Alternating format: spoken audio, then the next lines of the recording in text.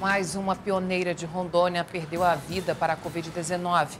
Dona Ruth Cantanhede Salles, irmã do ex-governador Oswaldo Piana, não resistiu às complicações da doença e faleceu na madrugada do último dia 5. A família é o retrato de muitas saudades. Dona Ruth Catania de Sales, de 79 anos, apesar da artrose que a deixou na cadeira de rodas, tinha uma saúde de ferro, segundo relato de amigos e de parentes próximos. Nascida em Manaus, veio para Porto Velho quando criança. Aqui casou, constituiu família e sempre trabalhou na ajuda aos mais necessitados e enfermos. Dona Ruth era viúva de João Sales, irmã do ex-governador Oswaldo Piana e mãe da ex-vereadora de Porto Velho e também ex-deputada estadual Ellen Ruth. Também deixa dois netos, Renan Catanhede e Ruth Catanhede. Filha única, a deputada disse à produção da SIC TV que a mãe foi figura importante em sua carreira política.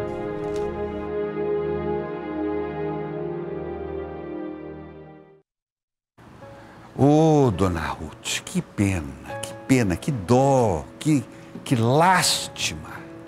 Ontem aqui eu, eu, em meio ao jornal, eu fui surpreendido com a notícia, com a informação. Passei aqui com, muita dor no coração a notícia do falecimento da dona Ruth Piana. Uma, uma pena. É, é daquelas mulheres que, que a gente via, e eu, eu eu tive a oportunidade de conviver com ela um tempo. É, é, não, não, não, não me considerava um amigo íntimo, mas como colega dela em Ruth na Câmara de Vereadores, na Assembleia Legislativa, toda semana, pelo menos uma, duas vezes, a gente se encontrava e a gente conversava, eu e a dona Ruth.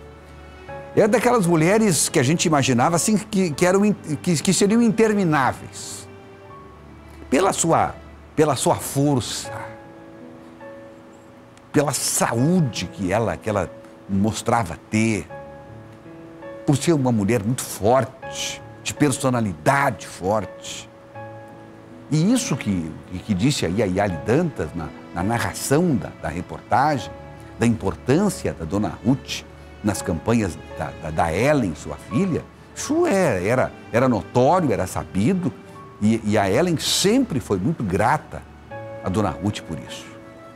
Dona Ruth era uma, era uma liderança, uma mulher que, que andava, que descia o barco de madeira, que, que, que ia para os bairros, ia para a periferia, ia conversar com, com as pessoas, atendia muita gente, fazia muito bem para as pessoas. Claro que em nome da, da sua filha, porque ela não tinha nenhuma pretensão, mas era a mãe assumindo o papel de mãe é essa, não é a mãe assumindo o papel de cabo eleitoral, não. Era a mãe assumindo o papel de mãe, porque mãe faz isso mesmo. Vai lá e luta pela, pela, pela carreira da filha. Então a dona, a dona Ruth, irmã do, do, do ex-governador e meu querido amigo Oswaldo Piana, ela tem uma história lindíssima junto com, com o seu João, que já era uma, uma pessoa mais retraída um pouco, mais simples.